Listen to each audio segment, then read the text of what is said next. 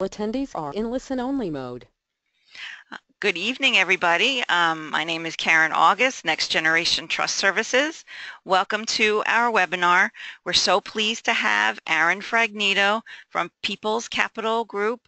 Um, he's going to be giving a self-directed IRA into your real estate presentation with an actual case study.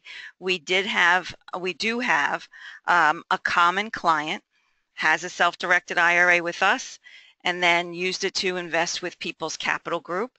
So um, just a little bit of housekeeping before we get started. Uh, if you have questions during the presentation, Aaron is going to start um, the webinar with his presentation. But if you do have questions while he's going through his presentation, you can either type them in the question box if you're on a computer or the chat window, or just write them down and then um, Aaron will address questions at the end of his presentation. Then I have a short little presentation.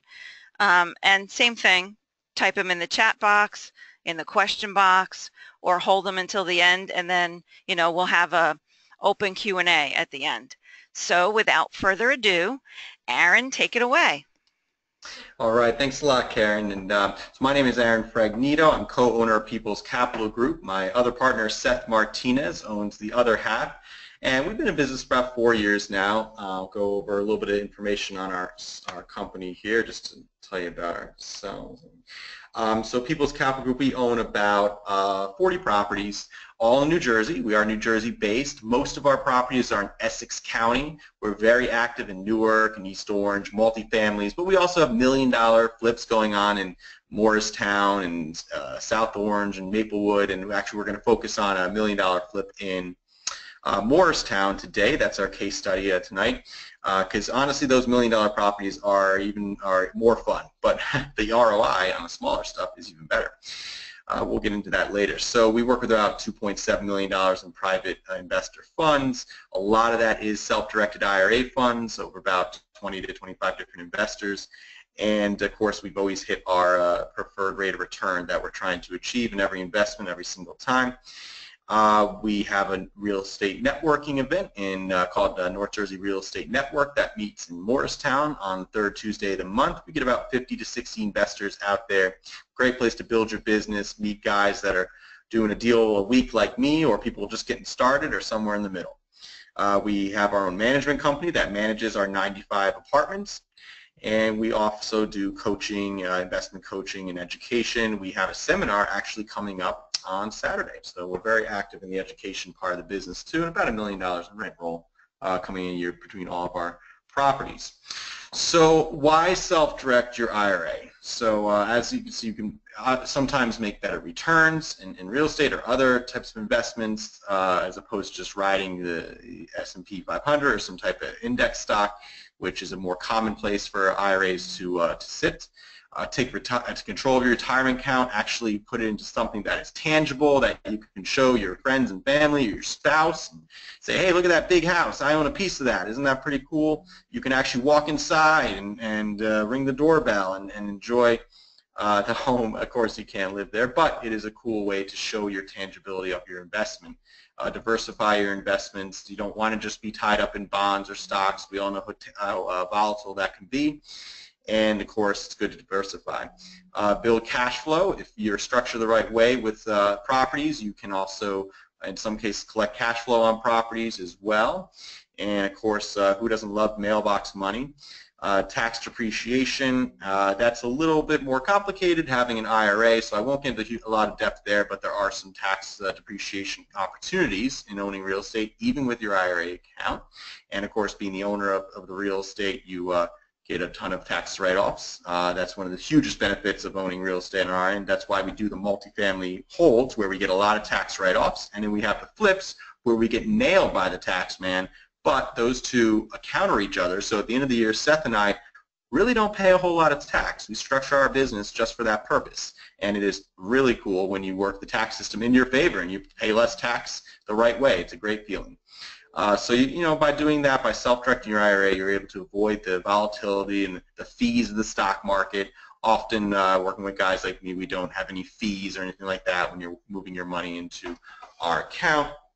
And of course self-directing your IRA, the fees on that are very, very small compared to what uh, fees are usually in the stock market or other uh, traders and, and uh, financial advisors. So you want to take a, take note of what the fees are and, and the difference, the money you can save by self-directing your IRA, especially when self-directing it into an LLC.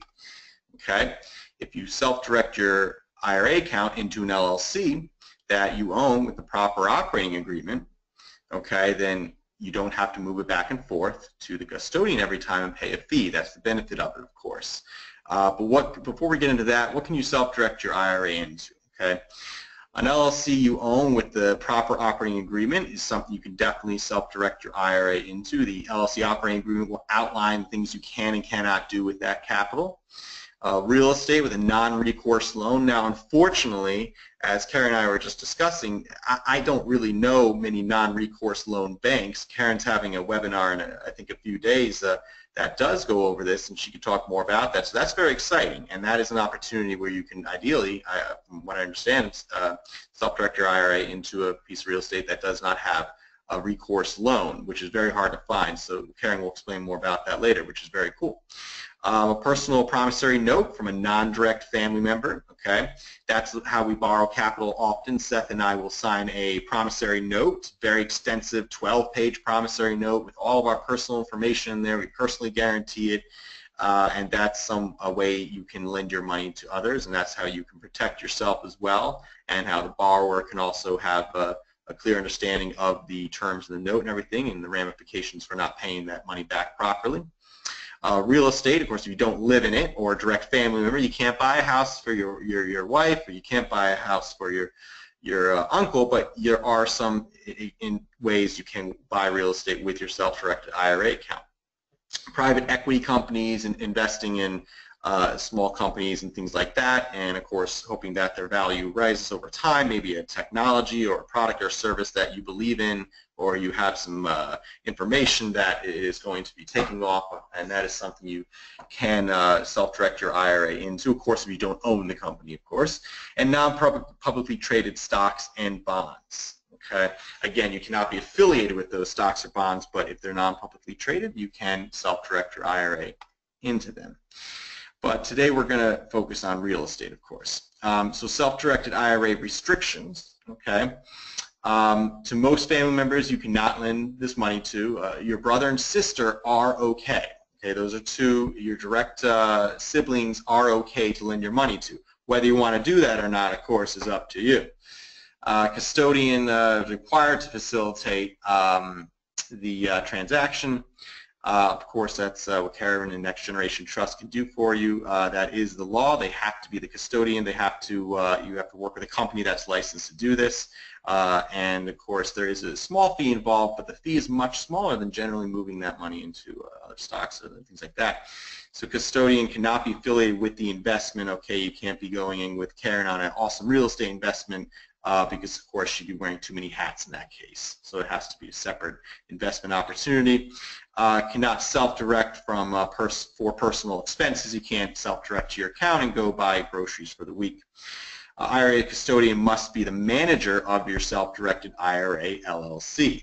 Okay, we'll get into more detail with that in a second here. So in this case, you self-direct the funds um, into an LLC that you own, but Next Generation Trust would be the manager of that LLC. Okay, you can own the LLC, but you can't manage that LLC. That's the rules. So let's go over case study. It's easier to understand these things we talk about them in, in real life. This is a real investment with accurate information about uh, what one of uh, uh, my clients, uh, one of our investors in our network, uh, just invested in one of our deals. So John approached, we changed the names of course. John approaches PCG to learn more about real estate investing. Maybe one of our networking events, our seminars, or just sees us online, or who knows, there's a million ways we can meet. You can meet us. We're out there in all of our social media and everything else. so PCG gives John an operating agreement for his attorney to review that allows him to create an LLC that will hold his self-directed IRA funds. Okay, We'll give you this operating agreement for free. It costs us a few thousand dollars, but it's something that you know is very, very necessary and important for you to uh, have in place to allow you to have this LLC that you can self-direct your money into. So we know by giving you this operating agreement, which has been reviewed by dozens of attorneys and been run through the ringer a million times and should pass your attorney's inspection, will help you skip a step, uh, ideally having your attorney write up a whole operating agreement for this and there's a good chance that attorney might not even know exactly how to write that operating agreement. So it's important we have the right document in place. It is a very expensive document. It is a legal document. We can give you a clear and editable uh, copy of it so that your attorney can edit it for his liking and input your details and numbers and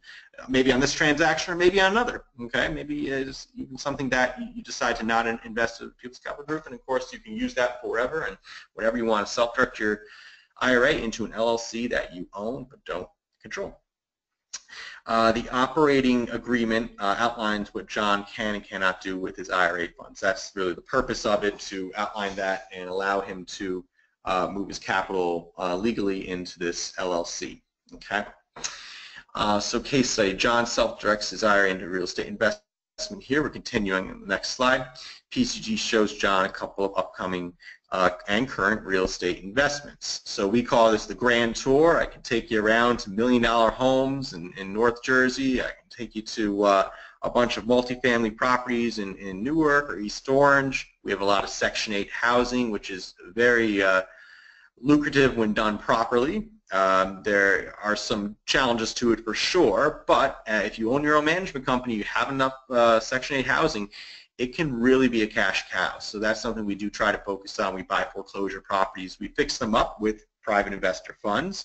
We lease them out and then we go to refinance. Once we refinance, we pay back the investor. That's the buy, renovate, refinance method. That's how we've accumulated about 30 income properties over the last three years. Uh, we also flip houses, which I'm sure you're familiar with. We've seen the TV shows. You buy, you fix them up, you put them back on the market with the best realtor in town. You, you try and make a million bucks in the middle, and you're lucky if you squeeze out 30. So uh, we, of course, flip houses as well. We flip about 12 to 15 houses a year. Again, some small, some big, really depends on the deal. Right now, we're actually focusing on smaller flips, uh, less capital intensive, uh, less time invested, less risk, and generally still a very solid return. Very good ROI, a better ROI in Newark than we find in Morristown. Just a little internal piece of information there in our business. Again, we actually make a better ROI flipping houses in Newark than we do in the nicest areas of New Jersey, like Morristown, you know, Maplewood, Chatham. Uh, we've done a lot of deals there, and it is hard to make money there. You tend to pay more for the real estate. You tend to pay a lot more to renovate it, and you're paying a lot more in, in holding costs and you're just dealing with a different level of contractor and township and a lot more challenges with the, the township and the architect and the contractors and the, the level of construction in that business. So we actually focus on smaller investments. But I don't want to get off topic here, go too much into my business. The focus here is John, and John has now looked at a couple of our real estate investments, and he says, okay, you know what, Aaron, I like the 519 Jockey Hollow Road in Morristown. That thing is awesome. It's a million dollar home, and I live down the street, so I can go drive by it and show it off to my wife, and she'll be really impressed.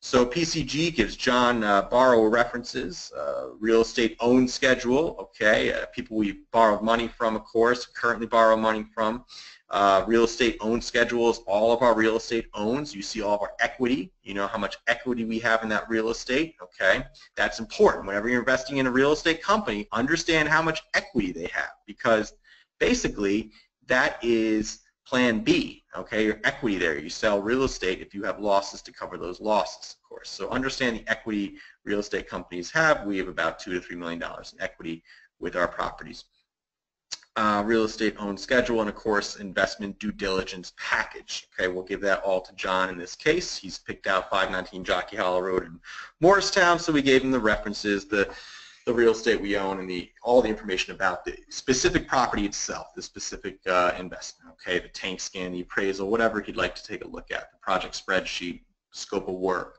Okay.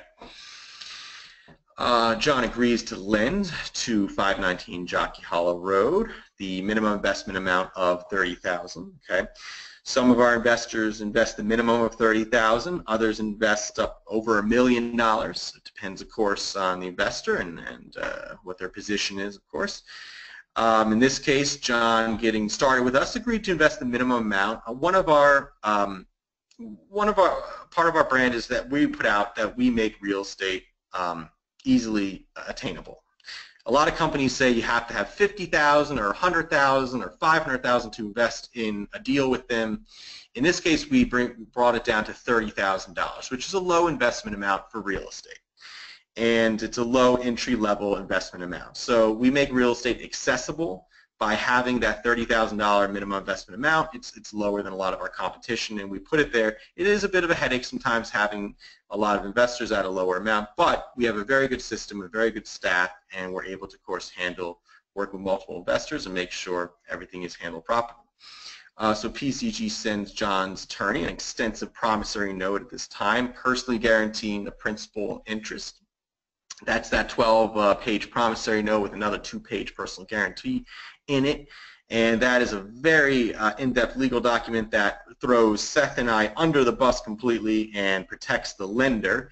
Uh, it throws all the risk to the borrower.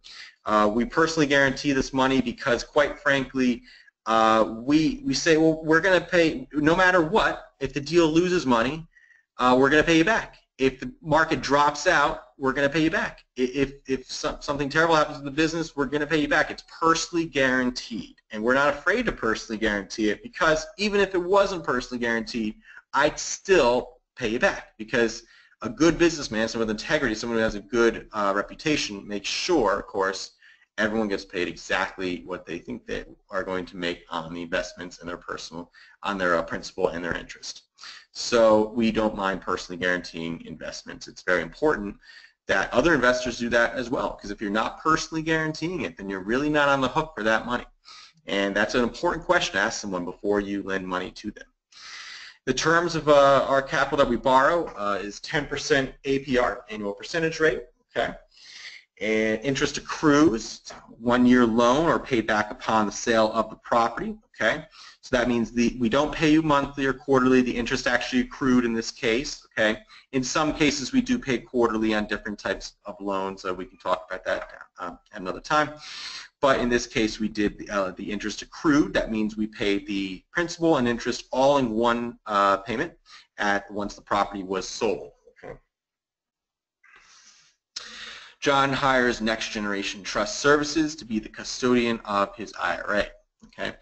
So uh, at this point now, John has uh, looked into our business. He's looked into our, our past with borrowing capital. He's looked into this specific real estate investment opportunity, the specific property, uh, with all of the information we've given him. Everything looks good.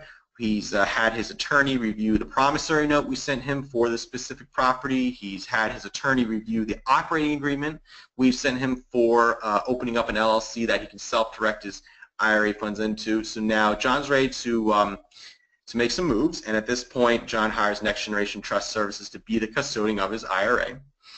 Uh, John sets up a, a trust account with uh, Next Generation uh, Trust Services, and John wires Next Generation Trust the $30,000 from his IRA that he's looking to invest in our property. John then starts John Doe IRA LLC. You can call this LLC whatever you'd like. Okay, in this case, he just named it after himself, IRA LLC. The LLC operating agreement allows Next Generation to manage the LLC while John owns 100% of the LLC. Okay. Now, this doesn't mean Karen's going to have a checkbook for your account. Okay, this doesn't mean Next Generation Trust is going to be able to go out and buy stock in Apple tomorrow because they think Apple's undervalued, which is not. Uh, and I, in this case, you actually do control where the capital goes to. Um, however, Karen, or I'm sorry, Next Generation Trust is the custodian of the LLC, is the manager of the LLC, okay? But of course, they oversee where the capital goes to, but at the end of the day, they don't really have the say on um, what you could do with that capital. You actually are you do control that capital, it is your capital, but they are managing the account. So there are restrictions on what you can do, they have to, uh, you have to talk to Next Generation to make sure you are following the rules, and they're there to make sure you follow the rules and stop you from breaking the rules, because if you do break the rules, you may have some serious tax consequences down the road. So Next Generation Trust is there to help you, guide you, protect you from hurting yourself or hurting the, the people you're lending to, and of course lining yourself up for any uh, uh, tax complications down the road. So uh, talk to Karen more about that. She can explain it in more depth, but it's a little complicated because technically they're the manager, you're the owner, it's your money, you're kind of guiding where the capital will go to, but at the same time, next generation has to be involved every uh, step of the way to make sure that it's done properly. And it's important to have them there. Without them, you're prone uh, to make mistakes. Next Generation approves the LLC operating agreement. Okay, they're going to look through it as well. Okay, because again, they're managing the LLC, so they're going to have to look at that operating agreement and uh, make sure it is uh, up to date and uh, up to code, and wires the uh, $30,000 into the LLC account at that time. So now Next Generation's approved the LLC operating agreement, so John's going to go ahead and wire that uh, 30,000 into the LLC account. Okay. PCG signs the promissory note at this time. Seth and I will then sign that note. Okay, we'll personally guarantee John's principal and interest. And at that point, uh, John is ready to then lend his capital to us. Okay, and he can wire that $30,000 into 519 Jockey Hollow Road LLC, which of course is the property address LLC. That capital can be used to then renovate that property and of course put it back on the market. Okay, so what happened there was John had the money in his IRA account. He hired Next Generation Trust to be his custodian. He moved the money into Next Generation Trust's trust account. Next Generation Trust reviewed the operating agreement for John Doe IRA LLC. They approved it. John Doe's attorney approved it. And then John went ahead and wired that money into his LLC. At that point, the capital uh, cleared in his LLC account, and he could then wire it to 519 Jockey Hollow Road once we sign that promissory note. So there's a couple movements of cash, the IRA to the custodian to the LLC to the borrower. Okay, that's four uh, different accounts, of course, we're moving through. Okay.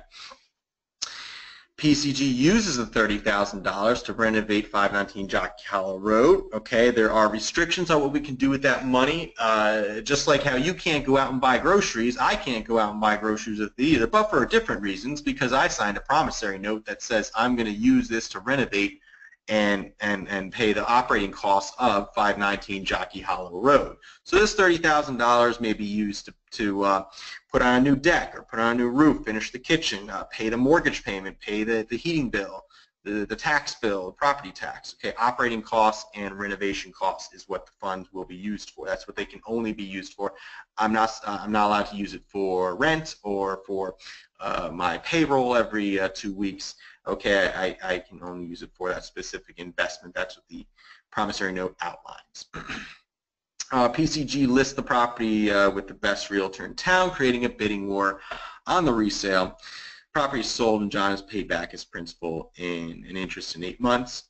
Uh, PCG then has another investment opportunity with the same terms. Okay. Now listen guys, I want to have a little disclosure here, full disclosure. Um, Karen and I wanted to focus on this particular client, okay, who by the way is not named John, just to clarify. And uh, in this case, 519 Jockey Hollow Road, you can Google it. It is actually on the market. We just listed it. Okay, um, I, have done this with dozens of other investors, but in this particular situation, I wanted to use a current property, a current investor. This particular investor has about $200,000 with us. This is one of four properties uh, he's invested in. So, you know, in this case, uh, we've worked with his capital uh, for some time now. This is just his current property he's invested in. But in, in all honesty, it did just hit the market. We do have a lot of interest in it. Uh, we just had an open house, um, and we do hope to get some offers very shortly. So we, we flip about a property a month or two, but I just wanted to focus on this one right here, and you'll see it uh, hopefully get sold very shortly. So uh, at that point, the property sells. Here's some pictures of 519 Jockey Hollow Road. Okay, uh, it's nice again to be able to go to the property, see what your money is is creating. It's very tangible. It's very attractive. Uh, and and it's just fun to show you know have have a product at the end of the day. It's it's a lot more fun than seeing a number on a, on a stock price on a screen, you know. And uh, in my opinion, I, I, think the tangibility of real estate is just uh, very enjoyable. And why not enjoy your money? Why not enjoy your investment? So, Um, so we also do seminars. We, we kind of kick it up a notch as well. So not only do we renovate the house and give you a lot of transparency with what we're doing with the capital, allow you to come to the property and kind of see how we do it. You can even see how we manage our contractors. You can shadow us around the house at times. And that, that stuff is all free. So that's thing, that those uh, situations, shadowing real estate investors, learning how to fix houses, to flip houses, that's normally thousands and thousands of dollars. If you went to Than Merrill and asked him if you could shadow him for the day, he'd laugh. Or you know any other investor, it would be a lot of money. So we we try to work with our investors and, and really, of course, sweeten the, the pot by offering an opportunity to come out to the property to see how we do this. Maybe you're interested in learning how to flip houses. Maybe you're not. Maybe you just like the, the end, end product, which is fine. Most of our investors honestly don't take advantage of the learn and earn program, but we call it learn and earn. Okay, that's where we, we give you a lot of the documents we work with.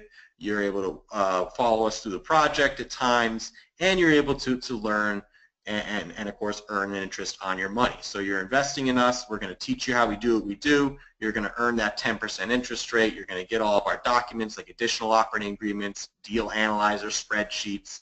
Uh, we have seminars, of course. Okay, this seminar is uh, $48, but it's a two-hour two and a half hour seminar. We have a breakfast included with that. It's, it's actually this uh, Saturday coming up, 10 to 12. And of course, if you're an investor, you don't have to come to this. It's just we're showing you this is how uh, we, we really are quite transparent. Uh, we have a well-rounded local business. Uh, we, we're very active. We're not the biggest guys in town, but we are certainly a growing business with a great track record. And um, we, we like to really just wrap in the education side of the business into what we're actually doing. So in this seminar, uh, just to explain to you what, what this would uh, be about, we found how we found the property, how we analyzed the challenges getting into it, how we completed the due diligence to make sure we didn't run into any issues along the way or try to predict those issues as best we can, how we selected the right and wrong contractors. We actually had to fire a contractor with this project. There was a, a lot of challenges with it. And negotiate with the town and our architect. Okay, we put up, we put on a a porch. We had to get architectural drawing. We, we uh, gutted a lot of the house. We gutted the entire house. We had to get all the drawings approved. We rearranged a lot of things. It's a very complicated process with the town, the architect, and the permits. It takes a lot of time. It takes a lot of patience. Um, how we manage the construction project on a daily basis, dealt with these blasted contractors that drive us crazy sometimes, and how we pre-marketed the property to build hype and create an open house frenzy. It's very important you create that frenzy on the back end with the sale of the property. That's as, as big a part of the business as knowing how to manage a contractor. It's all part of the business. You have to know all these parts of it to do it successfully. We're not saying you come out and start flipping houses, but if you're interested in learning how we do what we do, well, here's a seminar on it. So we, uh, we try to really expose our business and with all that transparency, ideally our investors feel even more comfortable investing in us. Um, but that, that's all I have for now. Uh, again, my name is Aaron Fragnito. I'm People's Capital Group. My uh, contact information is right up here at the top. Uh, we just uh, moved to Berkeley Heights, actually, from Warren. So our, our office is now 261 Springfield Ave in Berkeley Heights. Uh, check us out at peoplescapitalgroup.com. And uh, like I was saying, our networking group is actually tomorrow night, uh, the third Tuesday of the month, which happens to be tomorrow night, 6 to 9, the Hyatt in Morristown. Uh, our topic is top 10, uh, 10 biggest mistakes we've made and lessons we've learned. I had to limit it to only 10. I didn't have enough time. So uh, it's a very fun topic. We're going to go over some situations we've been in that might make your real estate situation seem uh, easy compared to what we've been in. So um, we've learned a lot more from our mistakes than our successes, I'd say, and uh, we're going to share that with the crowd. So again, we try to be very transparent and educational and uh, have fun. We enjoy. We always try to enjoy our events and our business and our, our, our people that we work with. Um, our next seminar, like I was explaining in the last slide, is uh, November 19th. That's this Saturday from 10 to 12 at that property, 519 Jockey Hollow Road in Morristown, the property we just did a case study on, the property that uh, Karen's uh, our contact there is actually invested in. And uh, of course, it is a $48 seminar, but we offer uh, breakfast with that, and we're going to hand out all the information on the property. You're going to get a lot out of it. Uh, we try to price these very competitively, so it's uh, really great bang for your buck, as they say. Um, but we do, uh, at People's Capital Group, try to practice experience. You know, we have a lot of experience. We, uh, Seth and I, both been in business for a number of years, not just real estate, but other businesses as well. We're both uh, entrepreneurs, having owned our own businesses in, in, the past in different industries, and then teaming up in real estate for about uh, four years now. I've done over 100 transactions as a realtor, as a wholesaler. Uh, we wholesale about a property a week. We flip about a property a month. We also acquire about one to two multifamily properties a month, and then of course refinance the package every six to eight months. Um, and uh, by doing that, we have a good structure to our business, a very solid business plan, uh, good reputation. You don't raise $3 million by having a bad reputation, that's for sure. And of course, we incorporate all that education and networking and, and fun and uh, experience all into uh, the business. So we try to give you a nice, well-rounded package with the Learn and Earn program.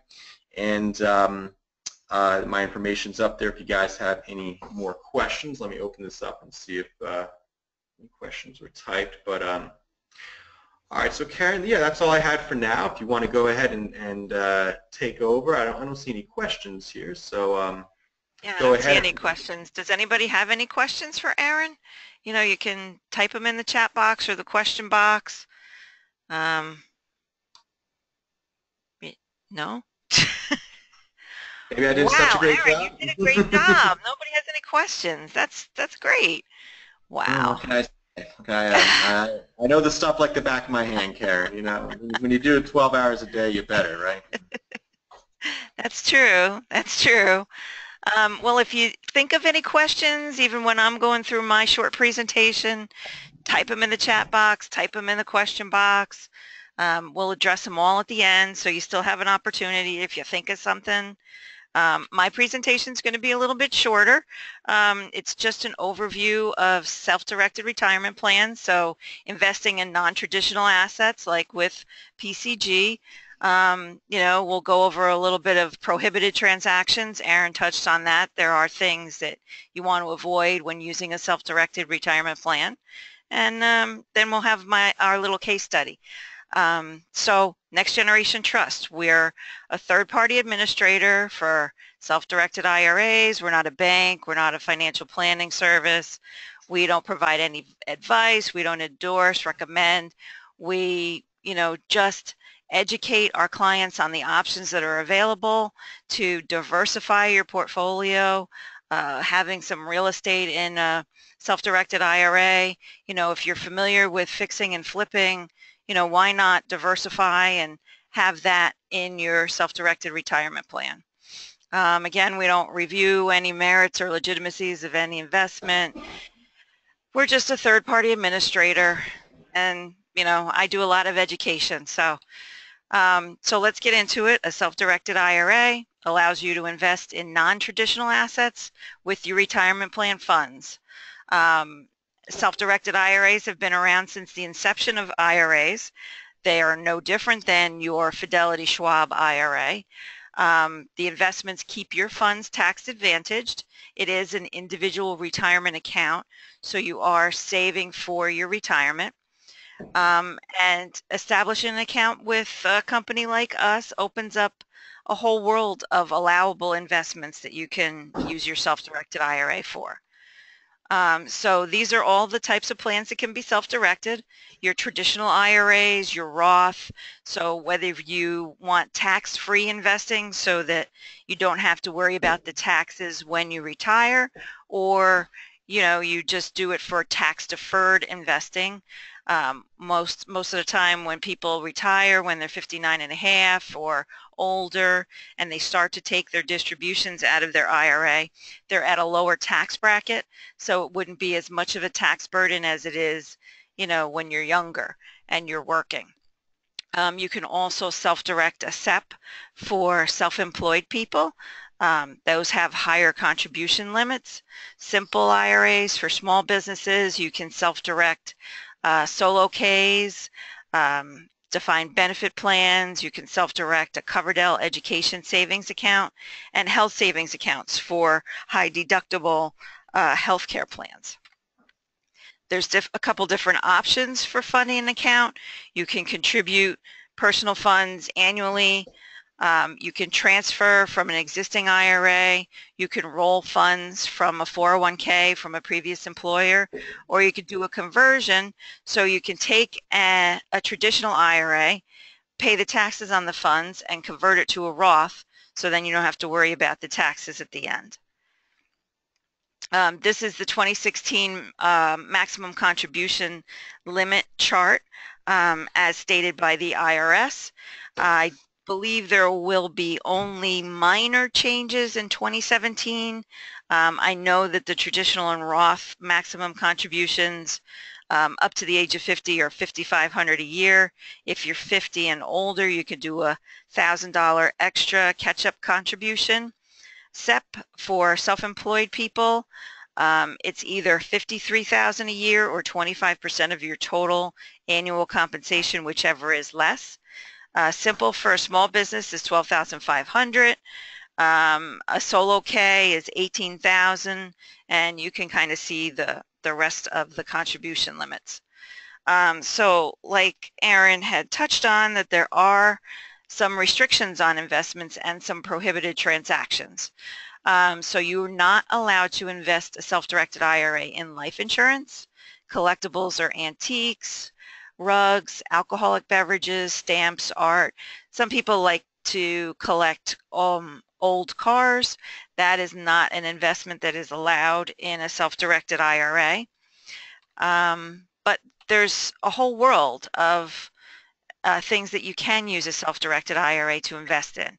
Real estate, mortgage notes, tax lien certificates, um, hedge funds, private stock. You can invest in LLCs.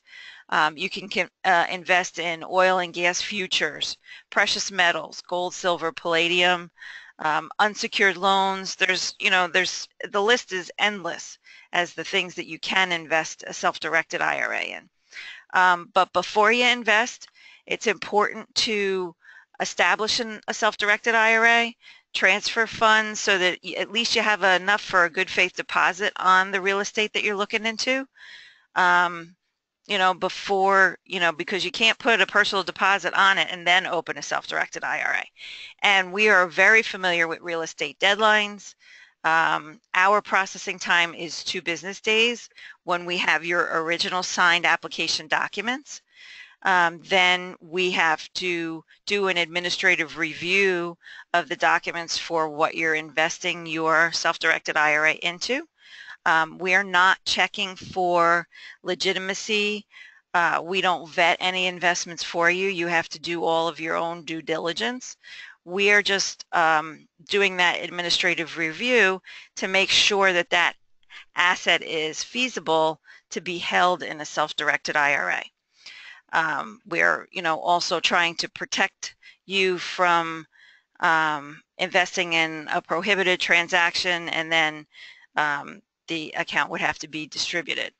Um, so if self-directed IRAs are something that you're interested in, you know, it's important to start that account and then, you know, get ready to move quickly on it.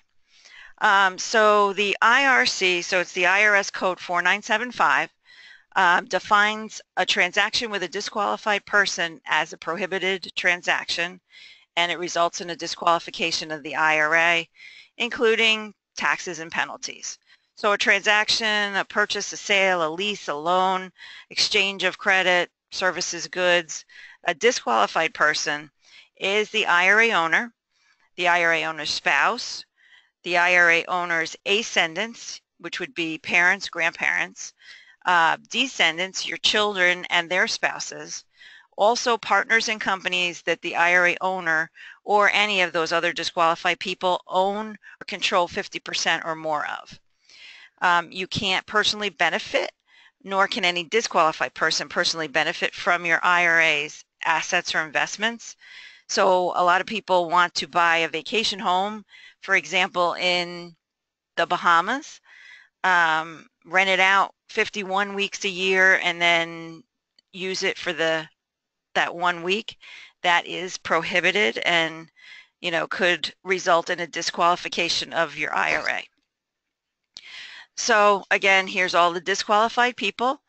Um, you know, IRA owner, spouse, children, spouses of children, grandchildren, their spouses, um, companies where you or your family above owns and controls 50% or more of.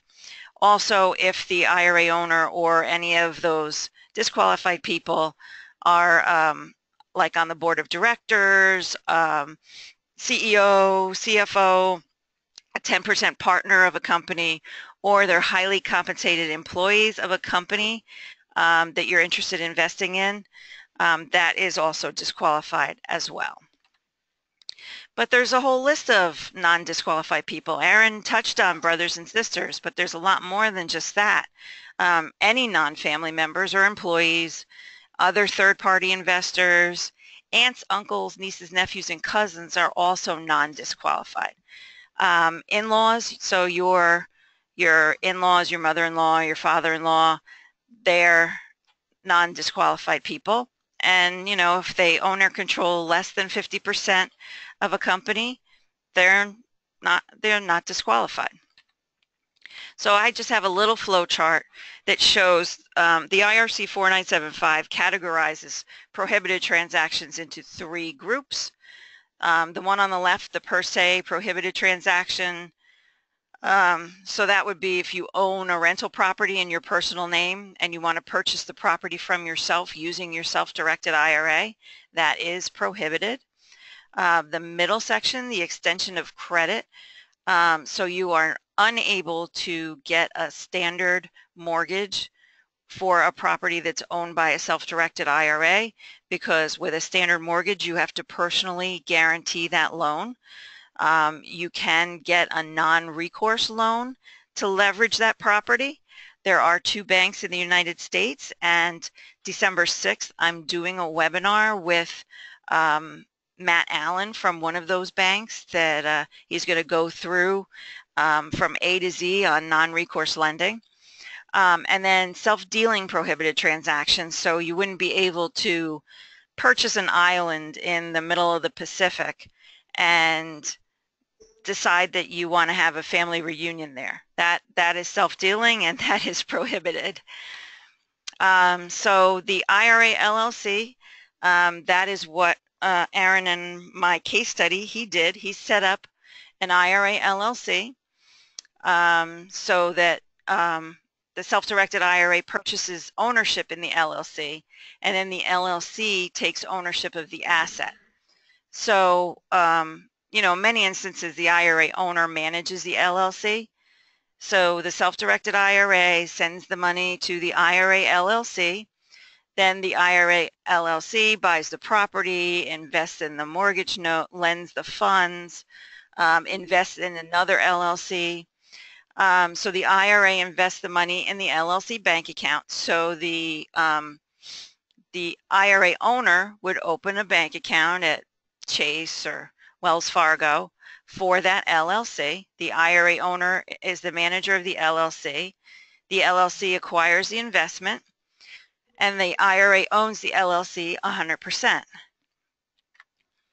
So the IRA owner as the manager, um, they're limited as what they can and cannot do. So you can perform all the administrative and investment oversight tasks.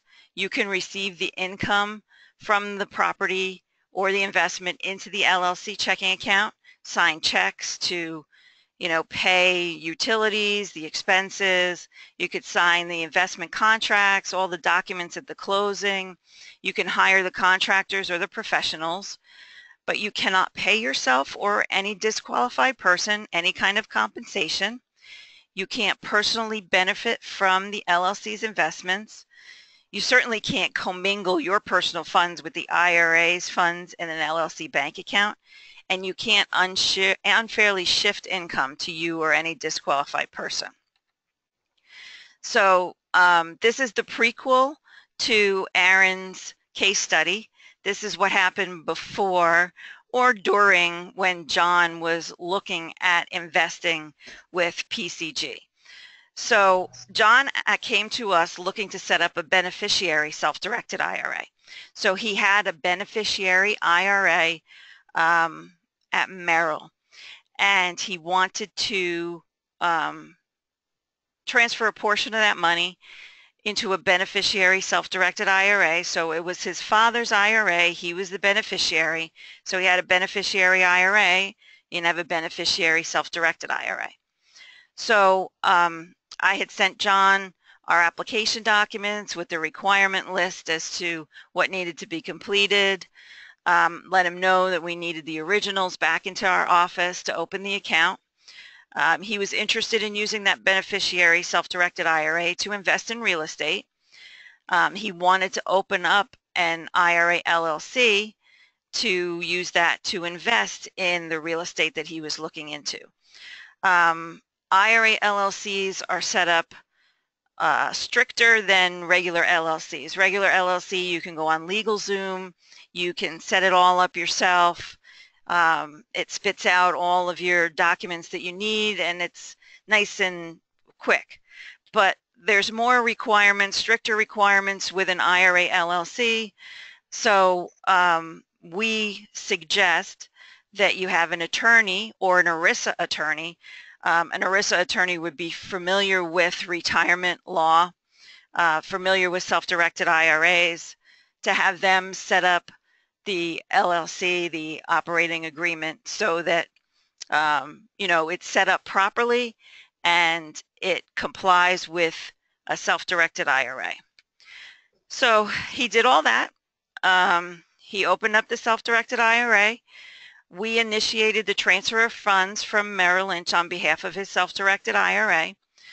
Um, when he opened up his LLC, we uh, reviewed the transaction documentation that we were going to be moving his money from Next Generation Trust to his LLC bank account. So we had to review his LLC documentation, the operating agreement, articles of formation. We had to review all that again just for feasibility, not for legitimacy or anything else. So once we reviewed that, and our review period is two to five business days, um, we reviewed it. His transaction was processed. We moved his funds to his Chase LLC checking account. And then John was free to use those self-directed IRA funds to invest with People's Capital Group. Um, and so then once, um, you know, there'll come a time when John maybe he wants to transfer his IRA funds out of Next Generation. He wants to transfer them maybe back to Merrill or he's going to transfer them to a, a Schwab IRA. He's free to do that. Um, all of his his net profit from investing with People's Capital Group will come back to his IRA LLC checking account. It has to come back to us when it comes back to us, then we, if he gives us a transfer out form that he wants to transfer back to Merrill, we will transfer those funds back to another IRA.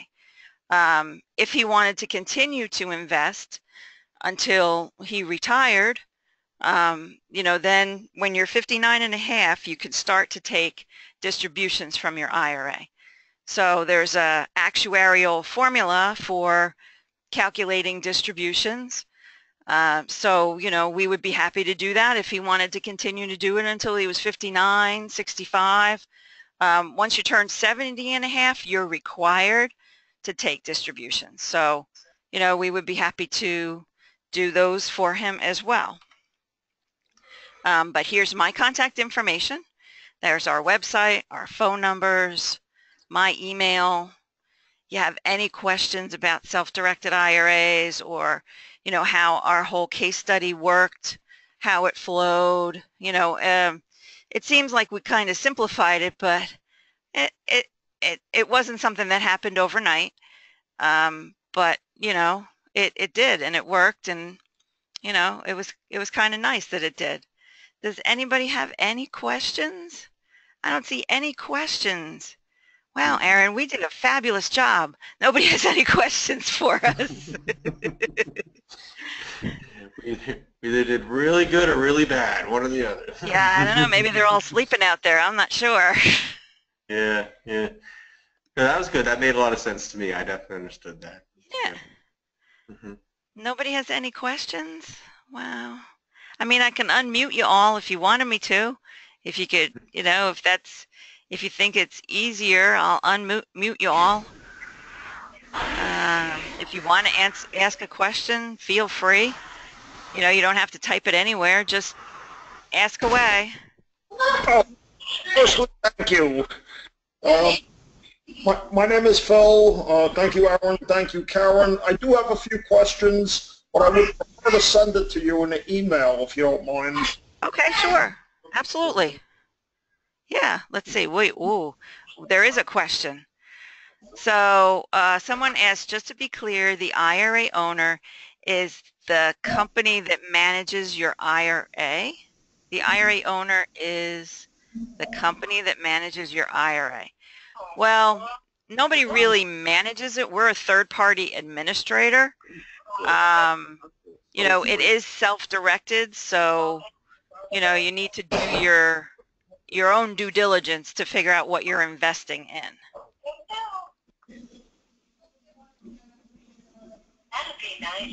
Anybody else have any questions?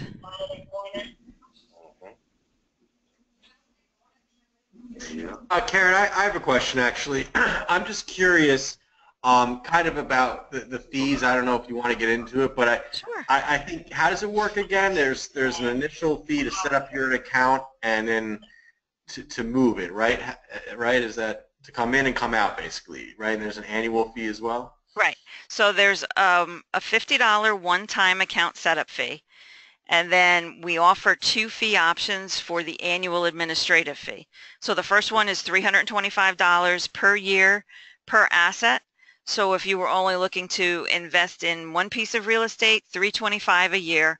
So the $50 plus the 325 would be due at the time that you open the account with us. The second option for the annual administrative fee we base it on your total account value. It's a laddered scale and it would be billed in monthly installments. Um, the choice is entirely up to you.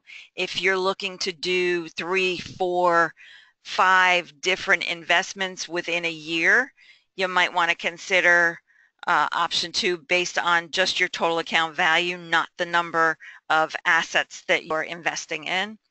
Um, also, if you are going to have funds wired in when you're transferring in. Um, there's a norm, it's normally a $30 wire fee, but uh, right now we have a special going on until Thanksgiving where we're going to waive that $30 incoming wire fee. It Doesn't matter if you're a current client or if you're a new client, we're going to waive that $30 fee for you until Thanksgiving. Um, when you make an investment, like I said, we have to do the administrative review on what you're investing in. There's a $100 transaction fee. So every time that we move your funds to an investment, it's $100. Plus it's $5 if you want us to send a check to your investment or $30 if we're going to send a wire. So it's either 105 or 130 um, to move the money to an investment. There is no charge for your money to come back into the self-directed IRA. And I think that's one of the biggest benefits of uh, the LLC account for someone like uh, our case study John here. When he actually did 200,000 into four different properties, so uh, it's obviously very affordable. You know, $300 to move your capital here is is very affordable, and um, I think what he what he was raving about was that he could then move it, you know, through your through your trust account to his LLC account, and then into three or four different investment opportunities that might pay back that account at three or four different times, and and he, he doesn't have to pay that that the fee every time because it's going back into his LLC account. So Right. it's a good system, you know, because they get to move it legally through your trust account, and then of course. Um, if they are doing something where they're investing in multiple real estate opportunities, like uh, John was doing, then the LLC account makes sense, um, of course, in that case. So Right. that's the reason, yeah, reason people do that, of course. But he wouldn't have had to ha- open an LLC to invest with you guys. He could have just used the self-directed IRA and had us just invest in that Jockey Hollow Road LLC. Mm-hmm. Mm-hmm. You know, he could have, you know, but then he would have, you know, depending on how many times he was going to invest, Mm-hmm. you know, then it would have gotten a little bit more costly. But, um, you know, an IRA LLC is not always necessary. Exactly. Yeah. Only if you're doing multiple Right. investments at that after that. Yeah. Right. Yeah, because then it's more cost effective, you know, Mhm. to just have the one LLC. Mm-hmm. Mm-hmm. Absolutely. Anybody else have any other questions? Crickets. well, if nobody has any other questions, I, I want to thank everybody for um, joining us this evening. Um, I did record it. I will share the recording with Aaron. Um, the recording will be up on our website. If you missed something, if you joined late and you wanted to view it again, um, you know, it's going to be up there for you so that you can enjoy it again and again. I want to thank you, Aaron, for joining us. It was great. It was a lot of great information. Thank you, Karen. Absolutely. I was glad to be here. You, I liked your presentation as well. I actually learned a lot from your presentation. I, I was surprised. I was like, oh, another presentation about self-directing your IRA. But then I learned a lot. I was, it was really good. Was really good. See? I got there you go. I was impressed. So thanks for doing that, and and thank you guys for attending here as well. And uh, I, I'm looking forward to get a copy of this. It's always nice to hear uh, how you sound on audio, right? Oh, yeah, that's fabulous. well, thanks, everybody. Have a great night. Definitely. All right, have a good night. Talk to you later. Bye bye.